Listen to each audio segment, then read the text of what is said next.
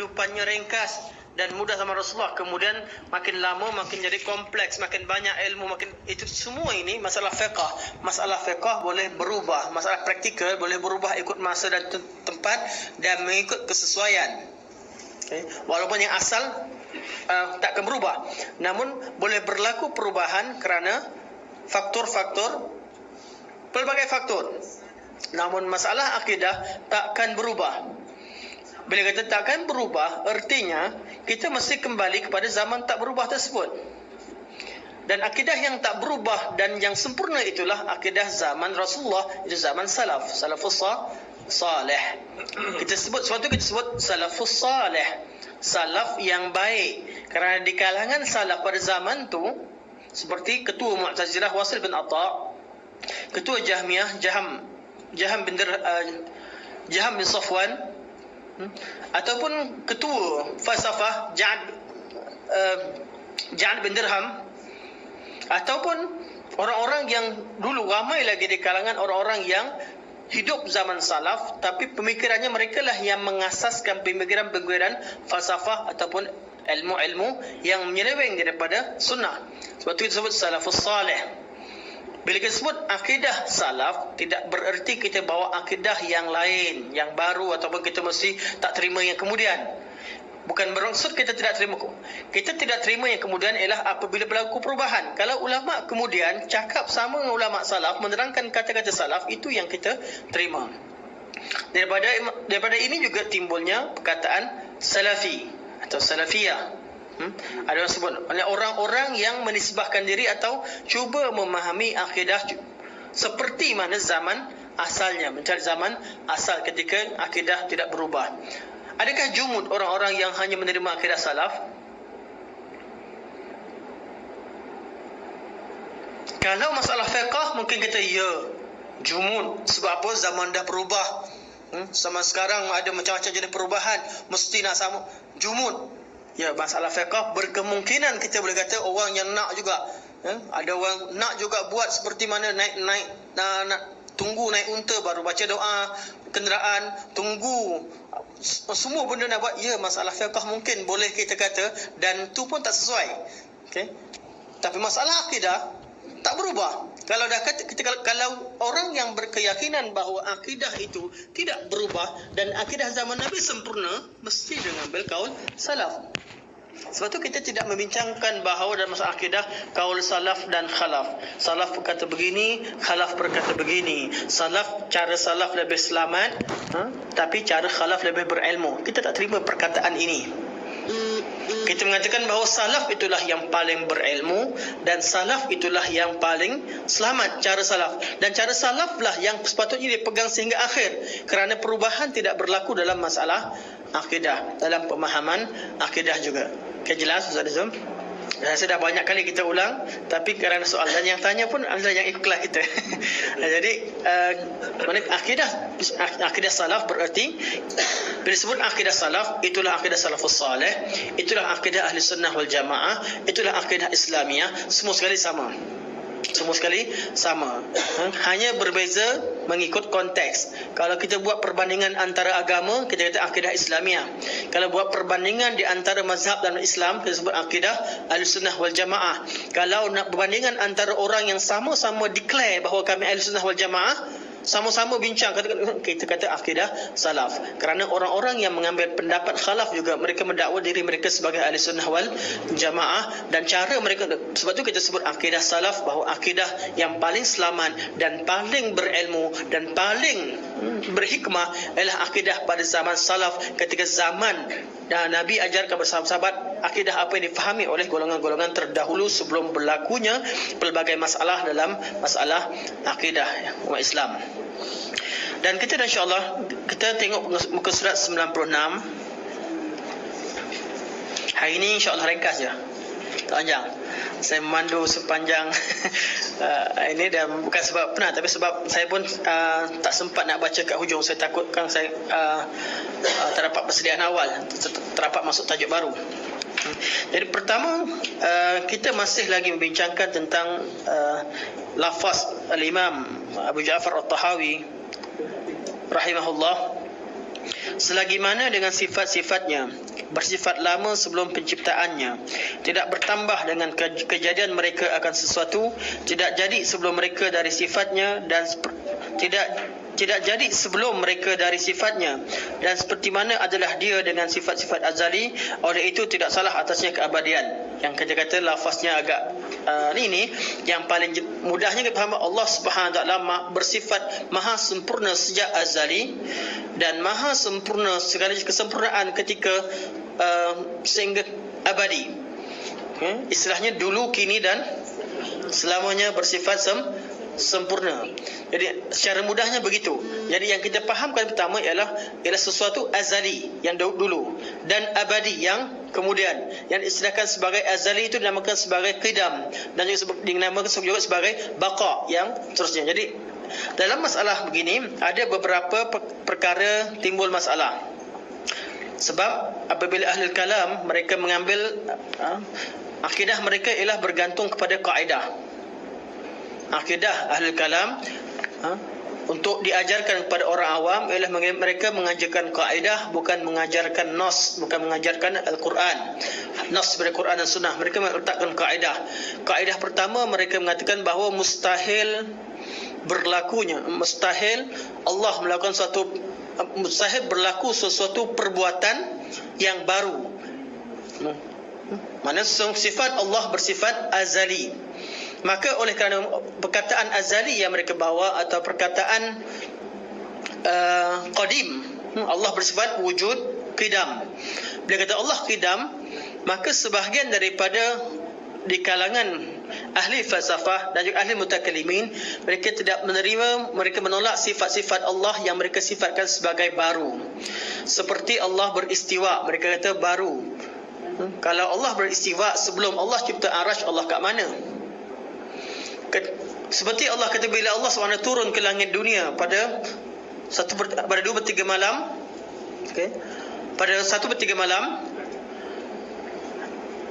habis kalau Allah turun turun ini adalah perbuatan yang baru. Sedangkan Allah bersifat azali.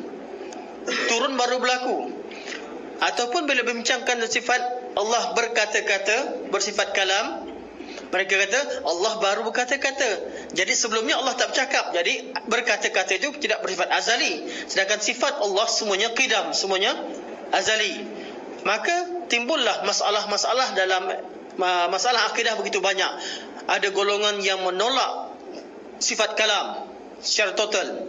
Ada golongan mengatakan bahawa kalam itu wujud tapi Allah itu azali namun kalamullah itu ialah makhluk. Quran itu makhluk kerana Allah baru bercakap sebelum itu tidak bercakap. Ada yang menurut pelbagai masalah timbul oleh kerana perkataan azali ataupun masalah kidam tadi. Wujud selesai dah wujud. Okay. Wujud pun kita dah bincang dah Wujud pada sebelumnya Cara mereka sebabkan wujud pun kita dah pening dulu Sekarang tentang kidam Tentang qidam. Allah bersifat qidam. Bila Allah bersifat qidam, Allah bersifat lama bersifat sedia ada. Sekarang ni perbuatan-perbuatan Allah baru. Istiwa baru, marah baru, Allah marah pada orang buat orang-orang yang buat maksiat, Allah sayang pada orang-orang yang dan banyak lagi perbuatan-perbuatan Allah yang disifatkan sebagai baru. Maka golongan di kalangan mutakallimin, okey mereka khilaf begitu banyak menyebabkan kita jadi pincang tak habis-habis. Khilaf itu banyak. Namun secara basicnya kerana adanya perbuatan baru. Maka di sini masalah pertama yang kita bincangkan ialah perbezaan antara sifatul zat dan sifatul fi'li. Ya? Sifat Allah itu secara azali.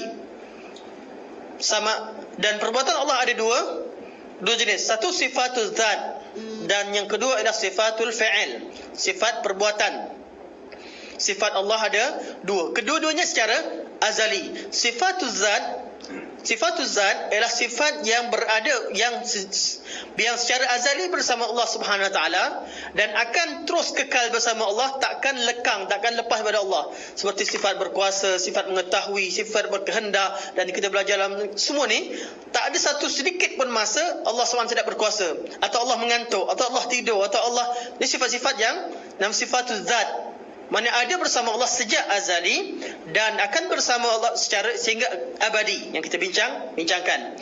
Yang kedua sifat juga sifat wujud bersama Allah secara azali.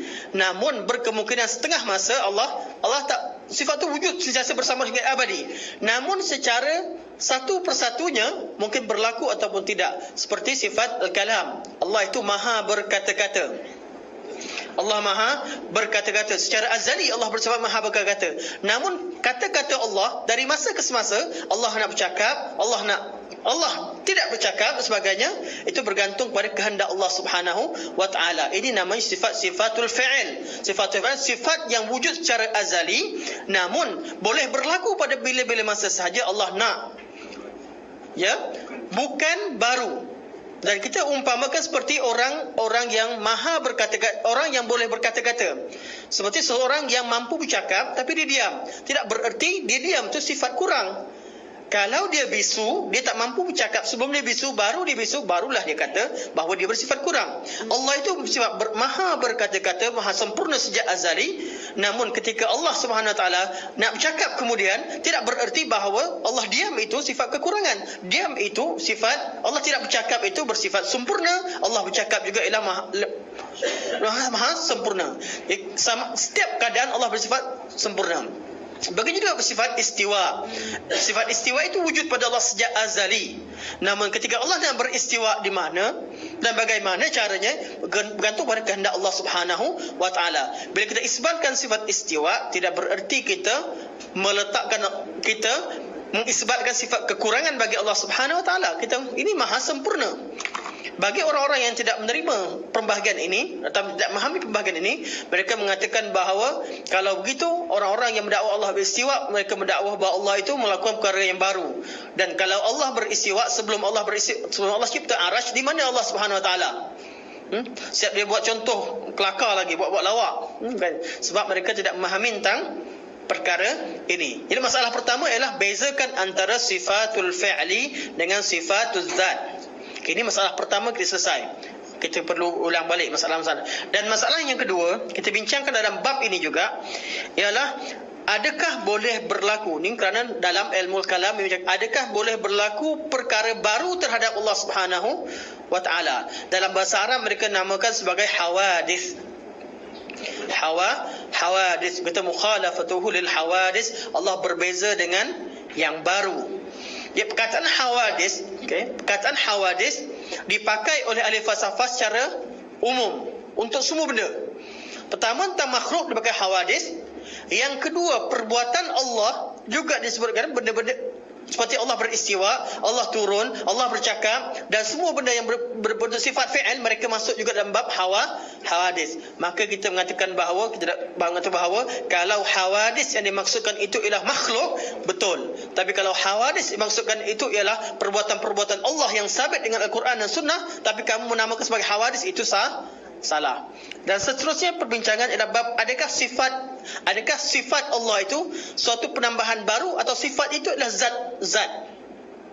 Adakah zat dengan sifat sama ataupun perkara yang berbeza?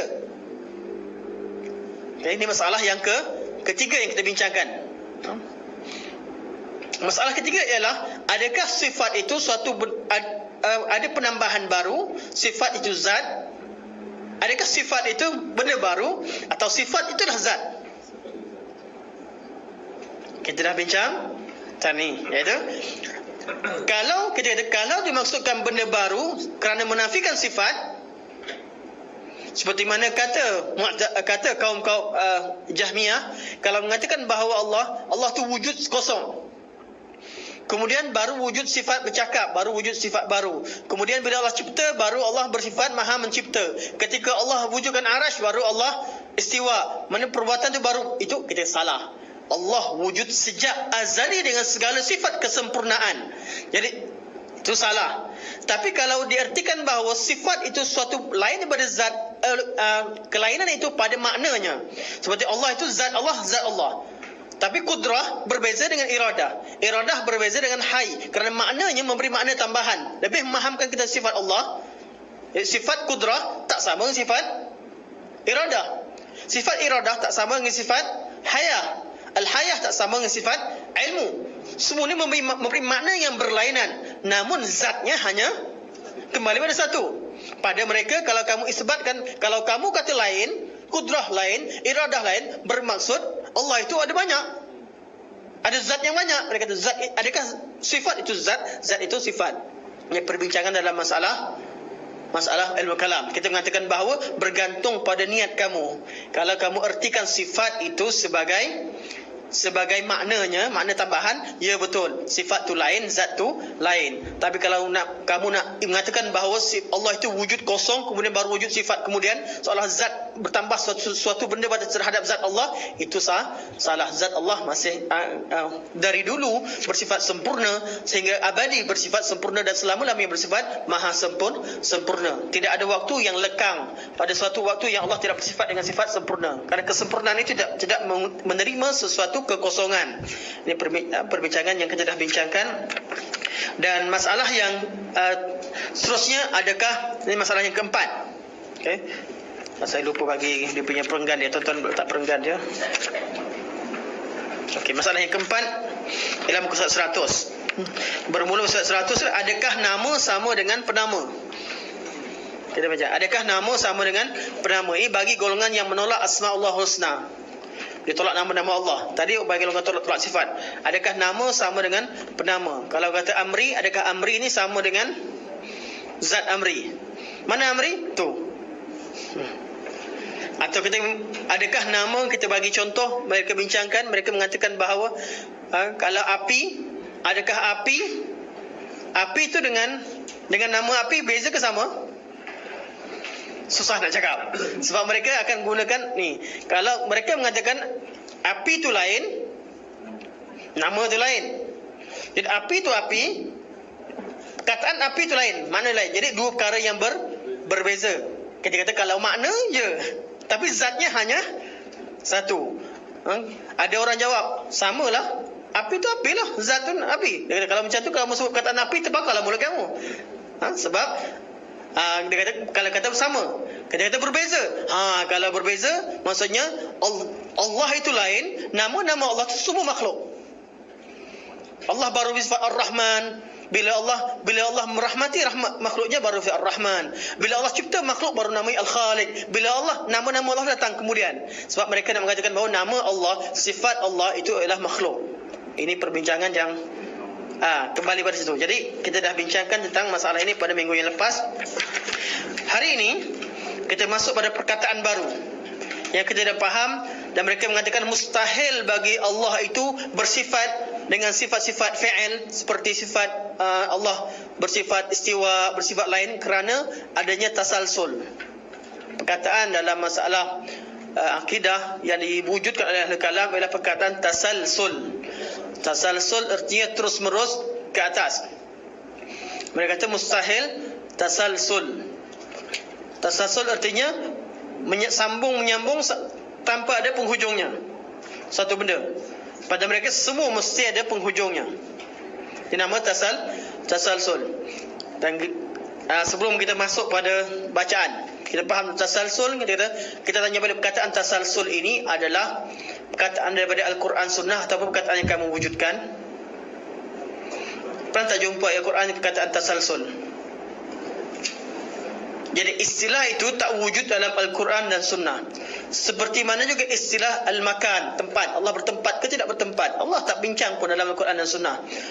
Ataupun juga perkataan jisim kamu telah menjisimkan perkataan jisim perkataan tasalsul semua sekali ialah perkataan istilah ilmu kalam kerana mereka mengajarkan kepada pengikut mereka bahawa mustahil berlakunya tasalsul. Kita kata betul. Kalau dibetul di kalau perkataan itu diertikan dengan cara yang betul. Tasalsul ada tiga jenis. Mereka satu je. Dalam ilmu kalam tasalsul mustahil mumtani' satu jenis je. Tasalsul itu mustahil. Kenapa mereka kata mustahil? Dia kata kalau Allah itu bersifat daripada azali lagi Allah Maha berkata-kata jadi mustahil ada awal kalau Allah Maha berkata mana awalnya cari awal tak jumpa sejak bila Allah Maha berkata-kata mustahil kalau berkata sekarang ketika kalau turunkan Al-Quran Allah berkata-kata. Sebelum tu Allah turunkan Injil, Allah berkata-kata. Sebelum tu Allah turunkan Taurat, berkata-kata. Sebelum Allah cipta makhluk, Allah maha berkata-kata. Habis mana awalnya? Yang mustahil berlakunya tasalsul. Kita kata salah. tasalsul betul. Tasalsul yang mustahil ialah tasalsul pada yang maka sebab tasalsul tasalsul pada muassir, tasalsul al-muassirin. Kita akan baca. Iaitu tasalsul bila nak cari siapa pencipta siapa. Kita tanya siapa buat kursi?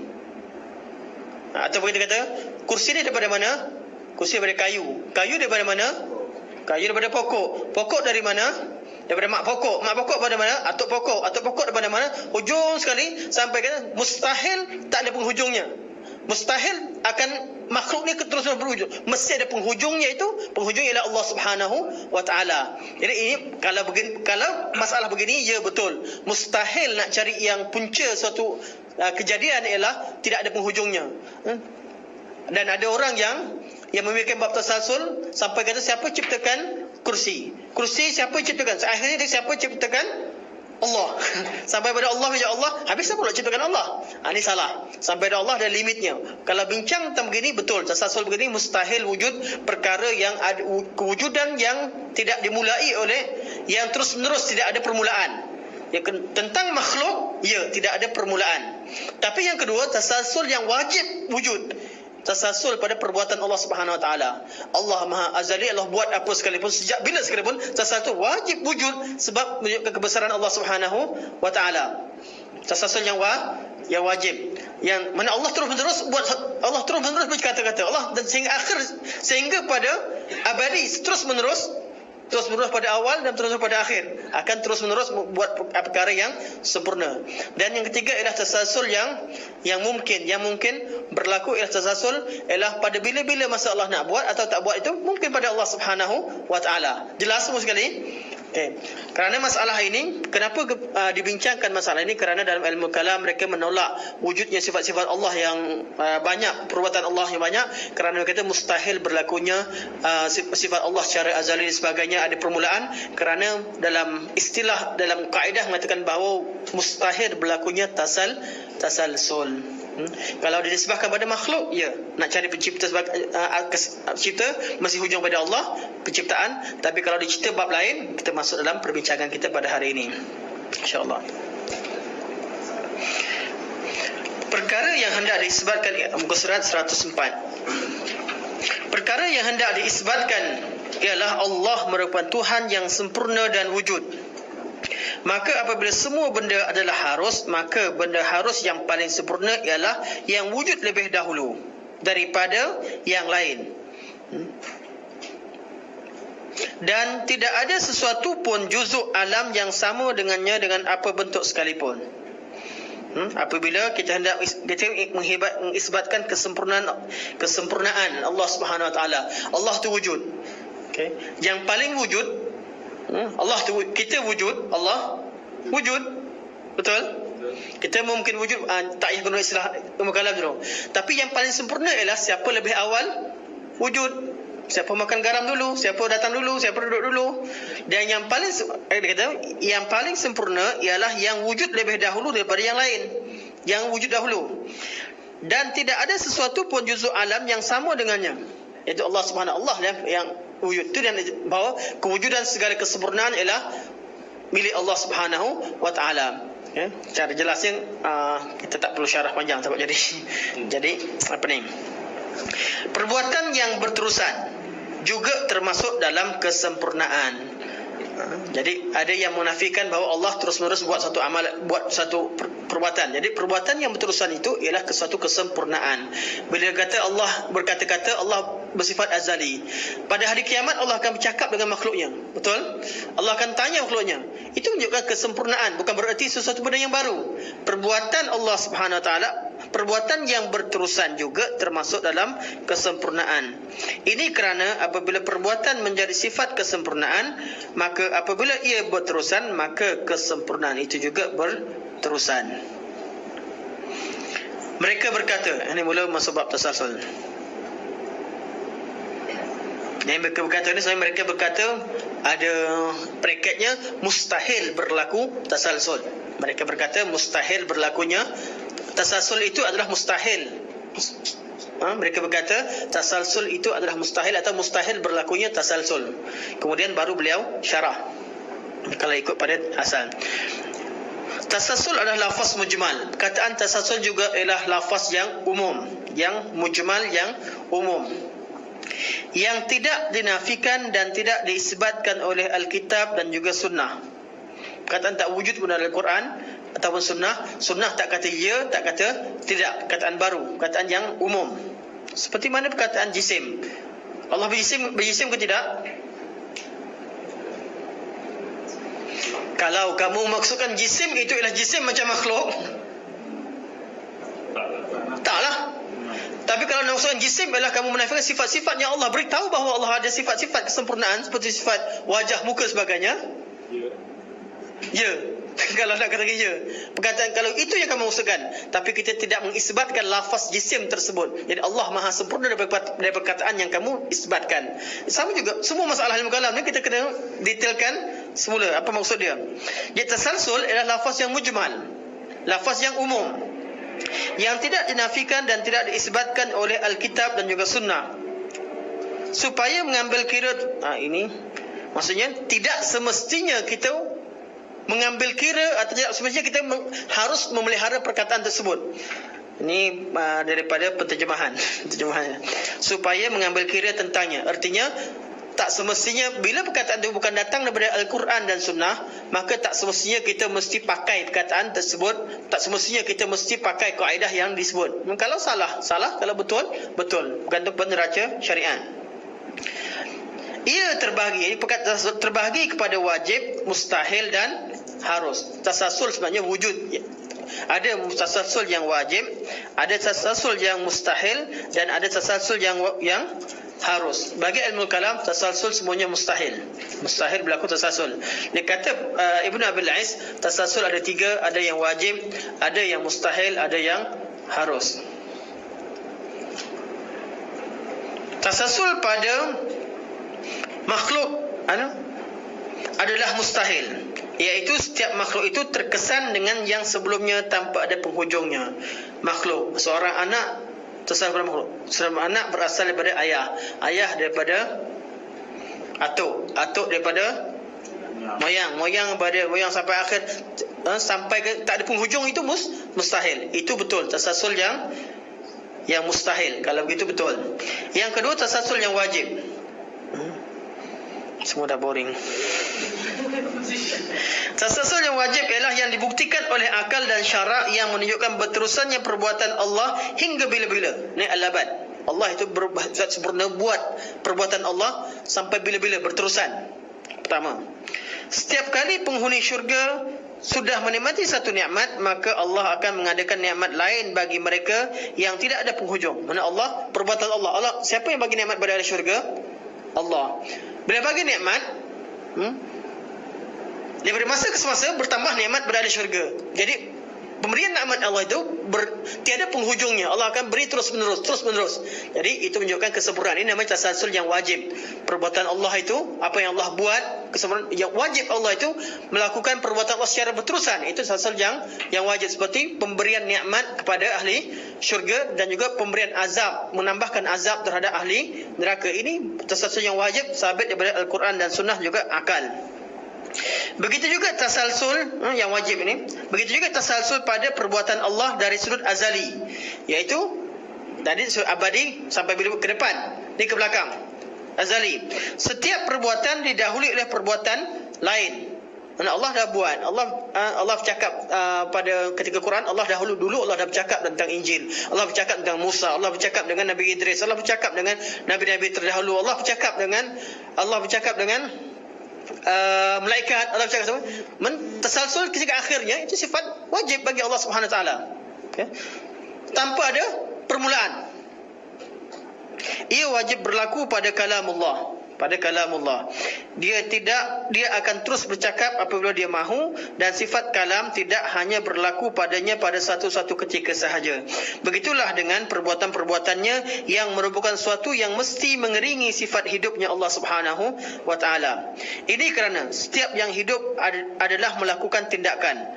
Perbezaan antara yang benda hidup benda yang hidup dan yang mati ialah boleh melakukan. Bezanya ialah hidup dengan mati apa? Boleh melakukan.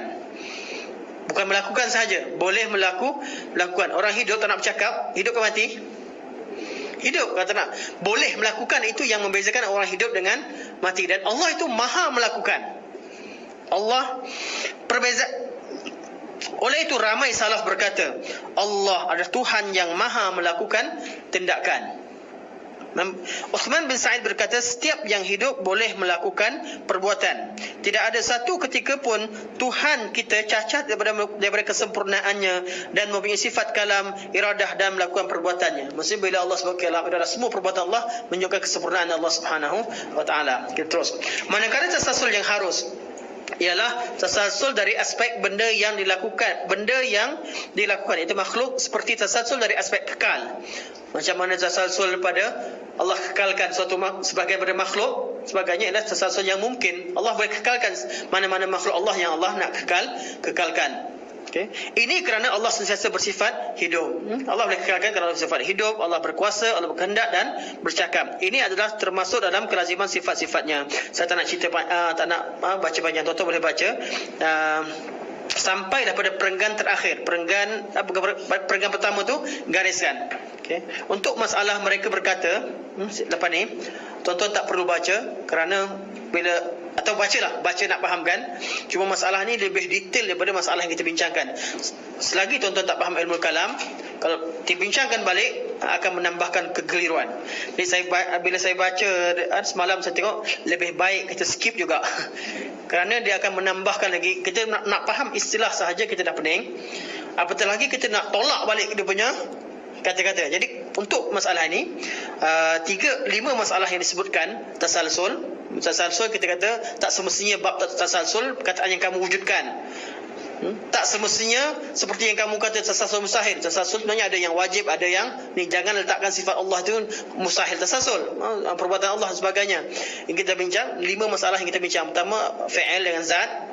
Yang kedua nama ha, sifat. Ada sifat ha, sifat Allah dengan dengan zat yang ketiga adalah nama Allah dengan zat dan yang keempat adalah hawadis ya hawadis dan yang kelima ialah berkaitan dengan tasal tasalsul. Eh, perkataan ini cukup untuk tuan-tuan tahu lima masalah dalam perkara ini dan kita sudah bincangkan secara umum. Tuan-tuan boleh baca untuk fahamkan secara umum.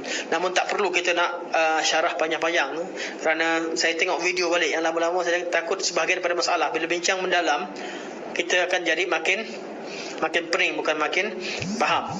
Ha? yang penting uh, dalam masalah ini ada uh, dalam dalam bab ini ada lima masalah yang kita bincangkan. Semuanya kembali kepada bahawa Allah itu maha sempurna sejak azali dan Allah uh, sampai bila-bila Allah maha bersifat maha sempurna. Dan kesempurnaan Allah bukan bererti kita menafikan sifat fi'il Allah. Kesempurnaan Allah pada zat dan pada fi'il perbuatan Allah Subhanahu wa taala. Okey.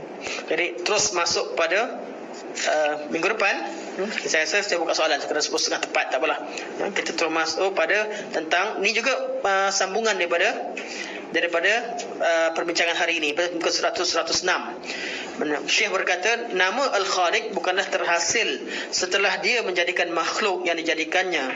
Nama Al-Bari bukanlah terhasil Disebabkan dia menjadikan kejadian-kejadian yang baik. Ya Al-Khaliq Maha mencipta, Al-Bari Maha mencipta juga, arti Maha, maha membentuk.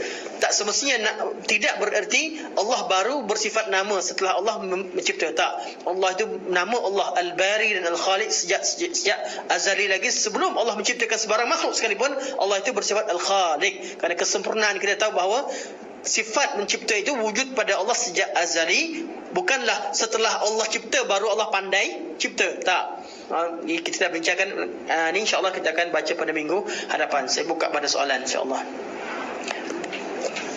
Uh, sebelum tu uh, sebelum buka soalan tuan-tuan faham ke tidak? Jelas eh? Uh, Faham insyaAllah Perbincangan hari ini Bab tasalsul. Cumanya Istilah tu Istilah ilmu kalam ni penting untuk kita faham. Istilah tasalsul Istilah hawadis Istilah sifat uh, Tambah pada zat atau tidak Menerima masalah kita faham secara umum begitulah Untuk kita Bila orang tanya. Sebab sekarang ni kita bincang lama okay. Sekarang ustaz-ustaz mereka juga tak faham benda ni. Ini realiti yang berlaku. Kita bincang panjang Ada soalan macam tu. Kalau kita bincang panjang, takut kita pula yang menghidupkan, yang memahamkan mereka. Lebih baik tak perlu kita bincang lebih detail. Jadi, waktu saya bila kata tolak pada pendapat mereka sebagainya, kita terus skip. Ya? Saya pun tulis kat sini, skip. Uh, kecuali bagi siapa yang nak tahu lebih detail, boleh kita habis lepas kelas ni bincang untuk fahamkan lebih detail macam mana biasalah kita lakukan itu insyaallah Ustaz, ya. Ya, saya. Uh, akidah apa? Uh, realis. Akidah? Realis. Realis? Oh, tak, memang dah dekat dia orang ada tu. Realis. Ada dia terangkan realis tu macam mana? Sikit-sikit lah saya buat pagi tadi. Ya saya. Ha, dia dia hanya isbat yang 99 saja. Yang lain nama tak isbat. Adakah nama Allah tu 99? Tanya pada dia orang. Ya, saya tanya wujud. Dia bukan yang tak ada. Tak ada, tak ada. Ah, okey. Ah, sebab tu kata ulama bahawa uh, ahli kufur itu uh, agama mereka satu. Macam-macam cabang, macam-macam pemikiran selain mereka Quran Sunnah tu semua sama. Ha? Selain pada yang disebabkan Quran Sunnah akan wujud pahaman macam-macam. Ha? Yang ini akan menambahkan lagi mungkin akan datang kalau mereka jadi ramai masuk dalam buku. Kalau mereka tak ramai dilupakan dari sejarah.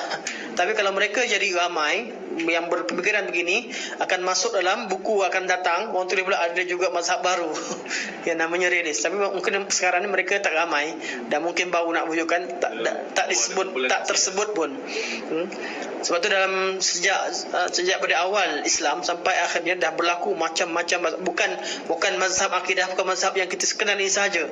Dah wujud beratus malah beribu mazhab dalam akidah. Tapi mereka dilupakan oleh sejarah kerana mereka tak kuat. Hmm, macam mana Al-Arqam contoh. Al-Arqam ni wujudkan akidah baru. Tapi tak kuat. Hmm, hanya beberapa ketika habis pula. Wujud pula kumpulan ayah bin. Ha. tak perlu dimasukkan dalam sejarah kerana mereka dilupakan oleh sejarah mereka tak kuat. Tapi yang dimasukkan sini ialah yang mereka kekak mereka kuat mempengaruhi masyarakat hingga ke sampai ke zaman sekarang. Macam Mu'tazilahnya, Syiahnya, Rafidahnya. Zaman dulu mereka punya pemikiran sampai sekarang ada pengaruh. Ini yang kita bincangkan. Kalau yang mazhab yang kecil-kecil je ni golongan arqamnya golongan ayah binnya golongan cikgu kahanya golongan ni kat tempat kita je. Belum golongan cikgu uh, macam-macam imam mahdi sana imam mahdi sini yang ada wujud sekarang ini mereka ni semua kita tak perlu tol, uh, tak perlu banyak sangat bincang sebab mereka dah uh, tak ada kesan pun dengan kehidupan kita uh, sekarang. Dah terlupakan oleh sejarah kerana lemahnya apa yang mereka bawa.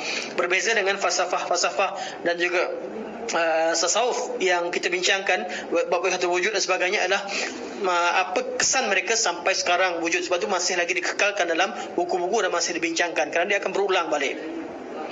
Dan apa yang berlaku semua sekali mesti balik kepada asal. Kalau kita faham betul-betul mesti balik pada grup-grup yang dah wujud pada zaman dahulu. Hanya nama yang berbeza branding yang berbeza.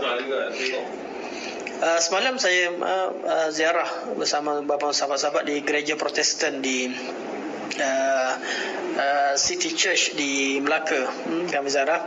Antara soalan yang ditanya adalah soalan berkaitan dengan Quran. Uh, kami nak kami ada sedikit dialog akan ditanya adalah pendapat kita tentang golongan yang hanya menerima Al-Quran tidak sunnah. Jadi maksudnya gereja juga dah bincangkan tentang as-sunnah dan soalannya banyak bincangkan. Bagaimanakah kita? Ditanya kepada kami lah bagaimana anda menghadapi orang-orang yang uh, pertama yang hanya terima Al-Quran dan tidak terima sunnah. Dan yang kedua anda sendiri bila uh, sunnah begitu riwayat begitu banyak, riwayat macam-macam, okey. Bagaimanakah uh, anda menghadapi bahawa nas Quran itu satu, hadis itu macam-macam. Macam mana nak nak gabungkan antara dua? Jadi orang-orang gereja pun dah mula bincang tentang sunnah Rasulullah sallallahu alaihi wasallam.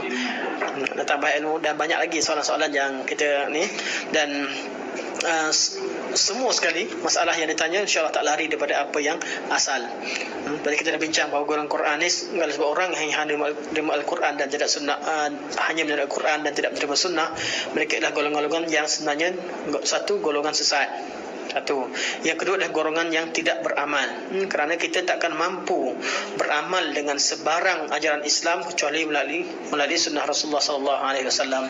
Quran suruh kita sembahyang, tapi cara sembahyang, waktu sembahyang dan juga secara bacaan salat dan sebagainya takkan kita jumpa dalam Al-Quran. Kita sembahyang waktu bila, macam mana kita rokok, macam mana kita sujud, apakah bacaan kita baca sebagainya, semua ini mesti dalam sunnah. Dan itulah kami bincang uh, maksudnya uh, yang sedikit. Ada soalan, apa beza ahli sunnah wal jamaah aliran Asy'ariyah, Maturidiyah dengan Salaf. Wah, soalan kita, soalan tadi saya buka soalan tapi saya lupa dah baca. Okey, apa beza Ahli Sunnah wal Jamaah, aliran Asy'ariyah, Maturidiyah dengan Salaf? Pertama kita kata Ahli Sunnah wal Jamaah ialah orang yang berdiri di atas sunnah dan juga jamaah ikut pahaman jamaah jamaah salaf ketika zaman itu. Jadi uh, Asy'ariyah, Maturidiyah dan sebagainya juga nama-nama yang lain kita katakan bahawa semua termasuk golongan Mu'tazilah sebagainya tidak semua masalah tidak semua masalah mereka disesat. Tidak semua masalah mereka silap okey. Tidak semua. Okey. Ahli sunnah ialah kita bincangkan tentang yang manakah akidah yang dibawa oleh Rasulullah sallallahu alaihi wasallam. Yang yang Allah ajarkan kepada kepada kepada para sahabat. Bila kita faham begini tak ada masalah gaduh-gaduh ha? Sama ada Asy'ariyah atau Maturidiyah ataupun Syiah ataupun Mu'tazilah ataupun kita yang mengaku sebagai salaf sendiri masing-masing cuba nak belajar yang manakah yang Nabi sallallahu alaihi wasallam ajarkan. Selesai. Jadi, yang kita belajar hari ini kita belajar kita nak cari apakah yang diajarkan oleh Rasulullah sallallahu alaihi wasallam dan apakah yang diyakini oleh golongan golongan yang dah dijamin syurga zaman golongan salaf dahulu. Itu saja. Walaupun kita mengaku sebagai salaf, Salafi Berkemungkinan kita kalau bincang-bincang Ustaz kita salah cakap Satu satu dewan salah faham. Itu bukan salaf Bukan salafi tak. Salaf ialah Terbeza ahli sunnah wal jamaah ialah Akidah ahli sunnah wal jamaah Dan akidah yang diajarkan oleh Rasulullah SAW Okay jelas? Manakala yang penamaan-penamaan Ialah grup-grup tertentu. Ini secara umum. Dan nak tahu apakah beza Al-Asyairah, Maturiyah dan juga ahli sunnah wal jamaah? Okay Masalah yang mereka sama dengan Nabi ajar itu mereka lah sunnah jamaah. Masalah yang mereka berbeza, maka perbezaan itu bergantung kepada apa yang tercatat dalam sejarah. Dalam sejarah ha, Asy'ariyah Maturidiyah, tuan-tuan. Tuan-tuan saya saya nasihatkan tuan rujuk pada satu video tentang perbezaan akidah Asy'ariyah dengan Salaf oleh Asri Sabri. saya tak nak bincang banyak detail dia sebutkan dan ada buku pun. Satu buku khas perbezaan-perbezaan yang banyak. Yang paling umum dan paling jelas ialah dalam bab asma wa sifat, dalam bab mengisbatkan sifat-sifat Allah Subhanahu wa taala. Okay. Golongan yang menamakan diri mereka sebagai Asy'ariyah, mereka menolak menolak ayat-ayat dan sifat-sifat sifat-sifat khabariyah Secara mudahnya, masalah yang besar, mereka menolak sifat-sifat khabariyah, iaitu sifat-sifat yang datang khabar daripada Al-Quran sunnah beritahu, tetapi berbeza dengan logik akal. Quran beritahu tak Allah Subhanahu taala uh, bersifat uh, istiwa? Beritahu. Quran beritahu tak bahawa Allah itu berada di atas? Beritahu. Quran beritahu tak bahawa Allah itu bersifat dengan sifat tangan? Perlu tahu sifat wajah semua sifat-sifat yang diberitahu oleh khabar khabar Al-Quran dan Sunnah okay, yang sampai dalam khabar okay, tetapi berbeza dengan logik akal cara mereka logik akal cara mereka mereka menolaknya. Itu secara mudah. Masalah banyaklah. Ha, kalau tuan-tuan nak rujuk boleh rujuk video. Asri cerita macam-macam tapi secara, secara ringkasnya lah di situ. Hmm. dan mereka ya Asri Sabri. Asri Sabri uh, Asri Sabri. Okay. Jadi Secara umum Inilah sifat-sifatnya. Mana? Menolak sifat khabariyah Untuk kita mudah faham Untuk uh, apakah perbezaan yang besar. Dan mereka tidak menamakan Mereka tidak mengaku bahawa mereka tolak. Ini perkara penting uh, Kita kata mereka tolak tapi kalau kita bincangkan tentang uh, sebahagian ustaz dan alhamdulillah mereka tak mengaku. Hmm? Kalau kalau mengaku jadi jadi masalah lain, masalah uh, kafir-kafir. Tapi takkan ada yang mengaku. Kita kata tak terima tu kira tolaklah. Tapi mereka men, mereka tidak mengaku bahawa mereka menolak kerana mereka kata kami hanya menakwilkan. Kami terima lafaz tersebut. Tapi makna dia yang kami muskil. Okay, bila kata bahawa Allah itu bersifat istiwa, kami kami masih lagi is, isbatkan bahawa Allah sifat istiwa dari segi lafaznya. Makna dia Makna dia dua kata, dua dua cara kami buat. Pertama mereka mendakwa cara salaf. Makna dia salaf tak tahu mana. Serahkan pada Allah. Allah kata Allah yadullah, yadullah tangan Allah. Tangan tu dia lafaz tangan tu wujud dalam Quran. Tak boleh tolak sebab dah ada lafaz Quran. Tapi makna dia serah pada Allah. Hmm, tangan ke bukan? Ataupun takwilkan. Tangan itu artinya kuasa. Istiwa itu berarti memerintah. Okay. Takwilkan. Sebab apa? Tidak menerima makna lafaz tersebut. Kita kata tolaklah. Kita kata itulah itulah namanya tolak. Hmm? Sebab tu kita ambil balik kaul Imam Malik bahawa orang zaman salaf dahulu mereka faham ke tidak mereka kata salaf itu tak faham makna serah pada Allah. Betul ke tidak? Tak betul. Sedangkan Imam Malik kata istiwa maklum. Istiwa itu ialah maklum diketahui maknanya. Kaifiah caranya majhul, cara istifat itu yang majhul yang tidak diketahui. Wal iman bihi wajib beriman dengan yang maklum tadi yang kita kita nak iman macam mana? Kalau kita tak faham tak faham isi kandungan nak percaya apa kalau berita tak sampai? Iman bihi wajib beriman dengannya wajib. Jadi bukan beriman dengan lafaz beriman dengan ertinya lah iman bihi wajib. Ini perbezaannya. Sebab tu uh, semua masalah masalah pada makna nama nama sifat tersebut sifat tangan, sifat muka, sifat dan semua sifat. Seolah-olah yang mana kita bicara seolah-olah Allah Subhanahu Wa Taala menurunkan Al-Quran dalam bahasa Arab yang difahami maknanya kemudian Allah mengharamkan kita mempercayai apa yang Allah beritahu sedangkan ada maknanya hmm? mereka menyamakan dengan apa ini semua ayat mutasyabihat ini ayat yang uh, mutasyabih. Seolah-olah ayat yang berkaitan yadullah sama dengan ayat alif lam mim yang tak dipahami maknanya. Yang memang tidak ada, tidak ada makna dalam Al-Quran. Yasin memang tak ada dalam makna dalam bahasa Arab. Mereka menyamakan antara Yasin dengan Yad. Yasin memang tak ada makna dalam bahasa Arab. Tapi Yad wujud mana? Apabila Allah menurunkan lafaz-lafaz yang mempunyai makna bahasa Arab, yang kita fahami maknanya dah turunkan Quran dengan maknanya yang lengkap yang kita faham dengan jelas ada maknanya dalam bahasa Arab kemudian Allah haramkan pula kita untuk beriman dengannya. Ini yang kita tak boleh terima. Sebab tu Imam Malik kata istiwa maklum istiwa ni ialah perkataan yang lafaz yang maklum yang dipahami maknanya bukan lafaz mutasyabih bukan lafaz yang mutasyabihat kita tak faham. Tak lafaz dia jelas. Istiwa istiwa lah. Istiwa maklum. Wal kaifiyah majhul. Cara macam mana Allah istiwa Allah ala majhul. Tak diketahui. Wal imanu bihi wajib. Beriman dengannya wajib. Bukan Allah larang iman dengan Allah turunkan perkataan yang maklum Kemudian Allah larang. Tak. Imanu bihi wajib. Mana beriman dengan apa yang Allah beritahu itu wajib.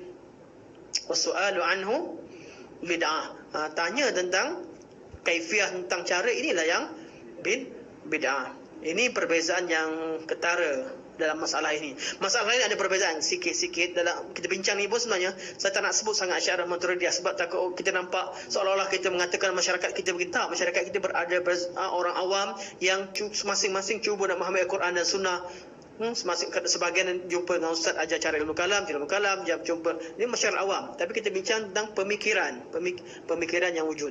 Jadi kita uh, itulah perbezaan secara umum.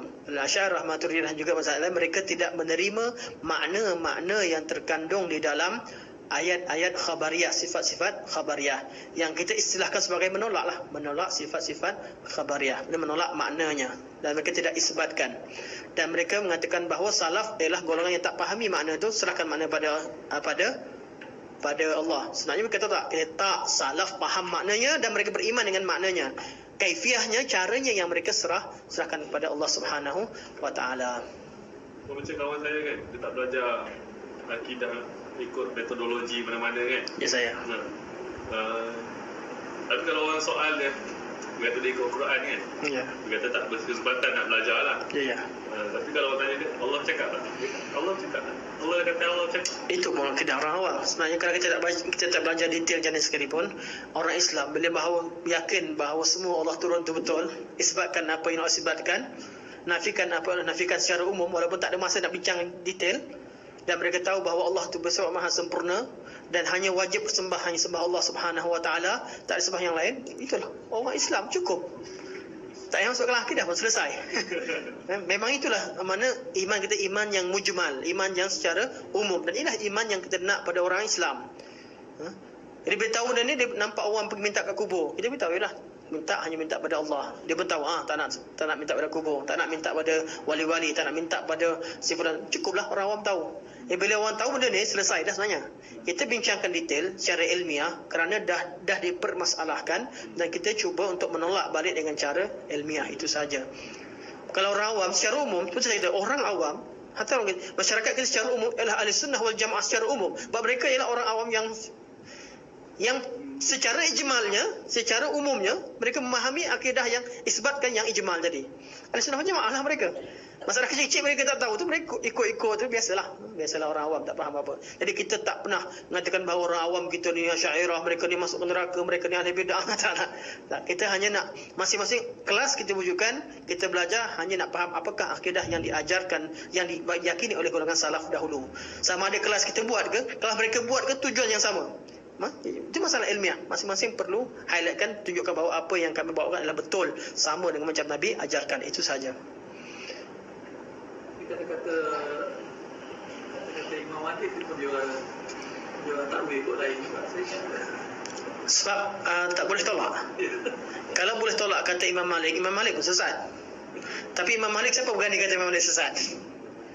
Jadi perlu di perlu ditolak dengan cara tertentu. Sedangkan saya tengok kalau kalau uh, nak bincang tentang uh, lafaz itu tak warid, lafaz begini warid semua, ni semua cerita yang kita boleh uh, uh, kita boleh tolak dengan mudah lah kalau dibincangkan secara ilmiah betul. Uh, mereka akan mengatakan bahawa yang sabit itu uh, adalah lafaz lain atau lafaz wujud dengan cara macam-macam cara yang dinafikan itu ialah ini dan itu ini semua perbincangan yang uh, yang sebenarnya kalau tak percaya kaul Imam Malik kita bawa kaul Imam lain pula Kaul Musalamah, ada kaul Abdullah bin Salam, ada kaul hadis Nabi, bukan sahaja kaul Imam Malik. Hadis Nabi yang mengatakan Nabi kata Aina Allah dan hadis Muslim pun kata hadis ni mutarib. dia pula bincangkan mutarib padahal bila orang tak terima dia akan tolak dengan pelbagai cara ya. kita secara mudah kata yang mana sahih ya So, ya kita bawa hadis Zainab pula. kan? Ah kita buat hadis Zainab pula. Ada kalaulah masalah ni hanya datang daripada kaul Imam Malik satu je. Ada pada satu hadis je atau satu ayat je mungkin bolehlah ni. Sekarang ni ayat Quran beratus-ratus ayat Quran isbatkan benda yang mereka isbatkan bahawa Allah Maha tinggi. Lalu semua masalah kita bincangkan Isra Mi'raj ni. Kenapa nak bawa Nabi jumpa dengan Allah SWT dekat atas? Bawa naik atas. Ha. Kenapa dia perlu diturunkan Al-Quran? Kenapa turunkan? Dari mana turun? kan? Yudabbirul amra minas sama'i ilal ar. Allah tu mentadbir sesuatu daripada sama, daripada langit ilal ar ke bumi. Nak tak ada jalan, tak ada jalan nak nak tolak. Kecuali mana kaedah mereka letak. Kaedah yang tak wujud ni mustahil Allah itu bertempat. Kita tanya mana perkataan ni? Dari mana perkataan tadi? Kalau tu perkataan Nabi sebut, ada hal Nabi kata, mustahil Allah bertempat. Kataan Nabi, kita bolehlah. Kata Nabi perlu kita bincangkan. Ini perkataan yang mereka wujudkan. Kaedah mereka wujudkan untuk tolak-tolaknya semua sekali. Kalaulah lafaz yang mereka bawa tersalsul tadi, lafaz memang wujud dalam hadis, wujud dalam Quran, kita perlu raikan, kita perlu fahamkan betul-betul. Tapi lafaz ni lafaz mereka yang bawa, kaedah yang mereka bawa, kemudian suruh kita wajib terima lafaz. Tak, yang kita wajib terima ialah Al-Quran, nas Al-Quran dan sunnah. Istilah-istilah Quran sunnah yang perlu kita raikan. Hmm? Macam lafaz jisim, jirim, menjisimkan Allah. Adakah ada Nabi sebut jisim tak jisim? Tak ada. Tak tak semestinya perkataan jisim sendiri ada banyak mana. jisim sendiri ada banyak mana. Dan perkataan ini kita tak perlu kita raikan. Yang kita raikan adalah betul-betul yang daripada Al-Quran dan sunnah Rasulullah sallallahu alaihi wasallam. Ini mudah. Yang penting apa Quran beritahu semua betul, apa Nabi beritahu semua betul, sama ada sifat tu masuk logik, masuk akal atau tak masuk, itu kita serahkan kepada Allah. Yang penting apa yang Quran beritahu semuanya benar. Yang hadis beritahu adalah semuanya benar. Okey, tak ada apa-apa. Okey, dah sedang. Uh, kalau saya pendapat kata kita kena beramal apa yang mengharapkan pahala apa yang takutkan macam dari segi akibat uh, Kita beramal tidak mengharapkan syurga, tidak mengharapkan pahala. Kita beramal hanya kerana Allah atau mengharapkan redha Allah Subhanahu Wa Taala. Ada betulnya sikit. Ada betulnya sedikit. Kita beramal hmm, kita beramal kita mengharapkan redha dan redha Allah lah yang sebenarnya amalan kita saya tak mampu macam mana ni. Eh, amalan-amalan kita tidak tidak boleh jadi bahan tukar ganti dengan balasan yang Allah bagi. Hmm? Amalan kita. Tapi yang kita beramal semua sekali, amalan mengharapkan syurga, mengharapkan syurga dan untuk elak neraka, jauh neraka ialah cara yang diajarkan oleh Allah. Hmm? Cara. Memang kita beramal mengharapkan hanya redha Allah, bukan kerana syurga, juga bukan kerana nak takutkan neraka dari segi uh, basicnya tapi memang Allah jadikan fitrah itu takut pada neraka cinta pada syurga dan cara itu dibawa oleh Rasulullah sallallahu alaihi wasallam dan juga dibawa oleh nabi-nabi jadi beramal kita beramal sama ada namanya istilah nakkan redha Allah atau nak nakkan pahala atau atau nakkan syurga okay? semua ni sama tak perlu di detailkan ya perbincangan tasawuf saya tak masuk cerita yang mendalam lah perbincangan bab ilmu tasawuf eh, mengatakan beramal ada yang Kalau tak mengharap kepada dua-dua tu uh, Ataupun nak mengelak salah satu tu Tak payah Allah cipta neraka surga dan Uh, sebab tu Allah memang, Allah Allah cipta syurga, neraka, pahala, dosa sebagainya kerana untuk kita beramal. Untuk kita beramal. Ini cara yang dibawa oleh. Jadi perbincangan sebenarnya falsafah ahli hmm, falsafah mempengaruhi kata antara keajaiban berlaku dalam dunia ialah ahli tasawuf dah mula berfalsafah. Ya, kita tasawuf gunakan hati ditolak banyak logik akal. Tapi setengah bab mereka dah mula berfalsafah, berfalsafah dalam masalah ini. Sebenarnya, sebenarnya sama ada beramal mengharapkan redha Allah.